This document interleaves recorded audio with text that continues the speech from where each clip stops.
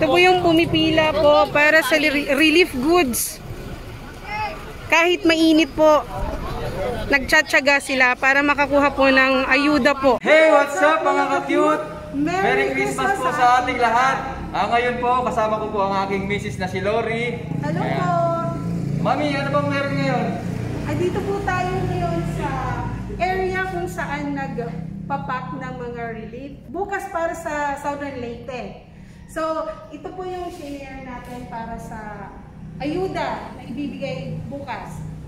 So, through the effort po ito ng Dulag Riders Club. Yes. And Um, also my husband, Jason Tesorero. Yes. And Nasa to ano, all Mommy's World, unahin po natin yung mga mas nangangailangan. Kaya nga po. Ah, Para sa mga nasalanta ng bagyong Odette sa southern part ng Leyte. Ano po, matindi po yung, grabe po inabot doon ng ano, ng kababayan natin sa southern part, part ng Leyte po. Kasi until now, wala pa rin po silang tubig, kuryente, signal. So, hirap na hirap po sila ngayon. Po.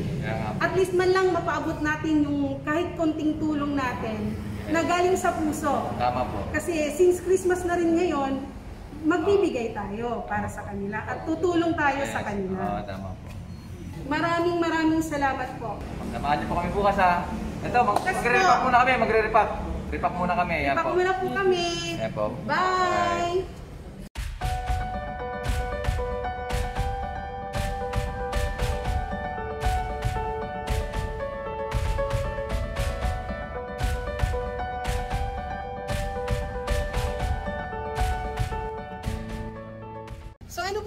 naranasan niyo po nung nagkaroon ng bagyong Odette?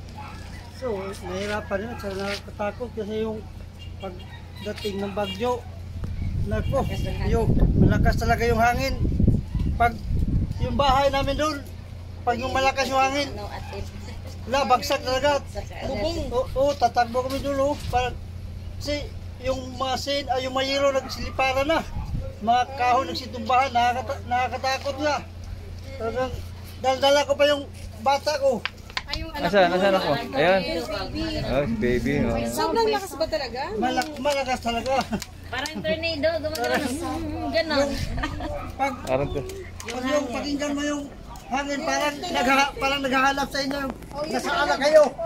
Ah, ganun. Parang hinahanap ko kung nasaan ka. Yung tunog ng ano, Yung tunog ng hangin ba? Parang may, may rinig mo parang naghahanap sa inyo. Saan na kayo ha? Sa, pero ano po yung ginawa nyo? Kasi gabi yun eh. Di ba mga gabi alas, yun? nagsimula nun mga alas dos. Sigawan nga kami. Palakas. Hanggang, sa alas 4.30 ng hapon, kuminto. Yung mamaya, Alas 9 ng gabi. dumating naman yung Balik ulit. bumalik uli. Piminto Yung bumalik uli, yung pinakamalakas na. Dalawang beses naglaro. Akala namin yung wala na. Yung pagbalik ng mga alas 5, naku, malakas na talaga. Yung ano, nakakatakot na. Oo. Hmm. Pumunta dito. Hindi, Hindi, doon lang. dyan lang sa baba. Pero marami din na nasira Sira yung... Puro, puro bahayan dyan. Sa banda sa may ano. Oh, dyan. Yung iba nakita namin sira yung na entrance sira na eh. Pag nakita yung barangay hall doon, isa nakatira dyan sa Puro dagat. bahayan dyan. Yung lakpas yung na yung ano ng masikulan, dagat. Ah, storm surge. Storm surge, oh. Surge yung nangyari. O, bali binalikan kayo. Storm surge naman. Hindi na hangin. na. Pag, pag kayo lang yung nakaranas sa ano. Naranasan din namin yan actually. Oo, nung Yolanda. Oo, kasi Nung Yolanda, wala, wala, di ka ano, no? Yun lang yung. Sa amin naman, wasak lahat. Pero at least ito, mas better kasi wala namang namatay. Naagapan, no? Naagapan. Agapan kasi maaga pa lang nag-inform na na may storm surge o tsaka nagbabalita, di ba? Na dapat mag-evacuate. Pero pinuntahan kayo ng ano, pinuntahan kayo ng kapitan. Oh. Oo. Pero yung eskwelahan namang Pero yung ma'am, nakita nasira yung din. oh. evacuation, Wala oh, namang wala mga na- Wasak din. Ayun din oh. Saan yung taas? Yung high school at saka... Ayun, ayun, evacuation. Yun dapat yung Doon, doon kayo dinala sa evacuation kasi tanggal na rin yung Sa bubong. high school at saka yung sa elementary, wala na. Eh di mo Wala na na natin. sira na yung bubong. Oo, Saan ka napunta naman? Wala. Tumakbo na na.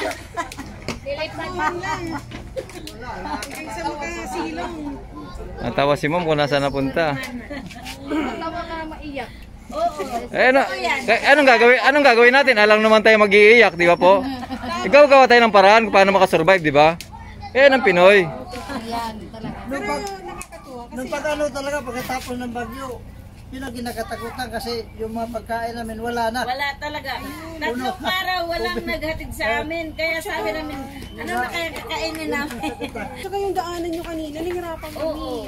Kasi may mga landslide. Tapos yung daanan kasi lang isang sasakyan. Oo, totoo yan. Pag may pagkatapos ng bagyo ma'am, yung makain namin kung saan kami punta. Yung mga Sa tatlong araw pagkain na namin, yun, anong nangyari? Kumain kayo? sana na lang. Lugaw-lugaw na lang. Yung natirang mga biskuit. Yung basa nga lang yung na lang. mga bigas, sinaing pa rin namin. Eh. Wala na. basa na. Basta na, ah, sinaing pa rin.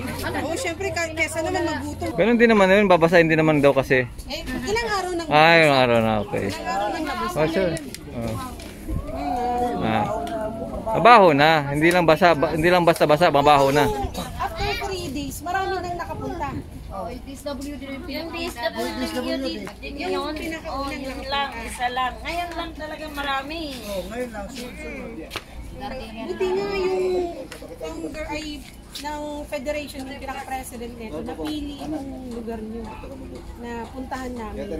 Kaya nag-join kami na asawa dito sa ano nila, event nila. Salamat sa inyo. Mm, Welcome po. Eh, yung sa amin talaga, hindi yung bubong sa amin talaga, buo. Ito, parang kaingin. Ah, bumagsak yung bahay nila. Ayun yung bahay nila bumagsak. Oo, bagsak. As in bagsak ka, tignan natin. Sige, tingnan natin yung bahay ni Kuya. Ano po pangalan niya? Rosler Valera ang pangalan niya, Nung Rosler. alauna Ah. pa lang, ma'am, dito pa lang kami. Nung pagdating ng alas 3, palakas na ng palakas. Hmm. Lumipat na kami sa Medyo ipat may simi- yan, Sa simento. kapitbahay namin.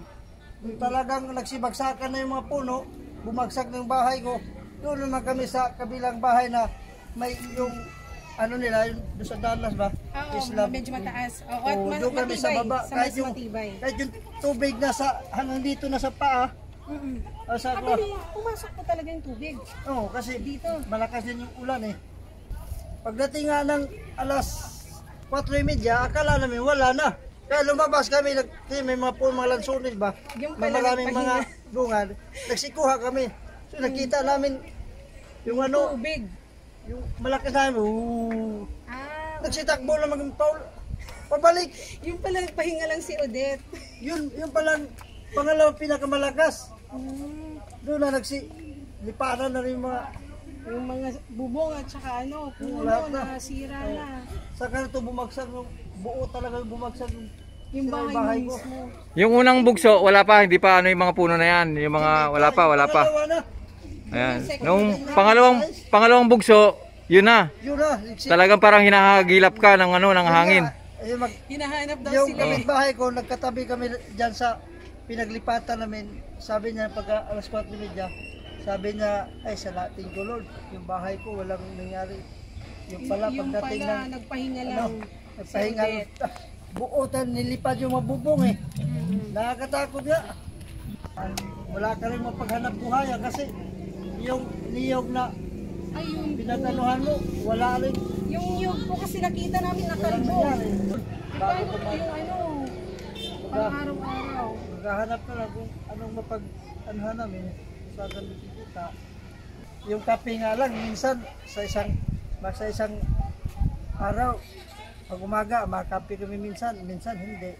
Pag ano lang ba, pag mayroong Mm-mm. kape mabili, minsan, Pero sana lang sa po bigas. yung yung ayuda po na dala namin ngayon, sana po makatulong po kahit konti sa Oo, inyo. nagpapasalamat nga kami sa inyo, ma'am, kasi may mga ayuda binibigay niyo pa amin. Opo. Bali po, pasalamat din po kami kay Lord at saka sa iba pong mga taong tumutulong po sa amin na mabuo po itong ano namin, group para makapagbigay ng ayuda po sa inyong lahat po din na, nang, na naghihirap at naging victim po ng paghihiram. Nagpapasalamat kami sa inyo, ma'am. Okay, thank you kuya. Kapit lang, alam nating mahirap pero kapit lang. Sige, ma'am, Sige, salamat. salamat kuya. Thank you din po sa inyong lahat. Muli, ako po si Jason Tesorero na nagsabing, Sharing is caring!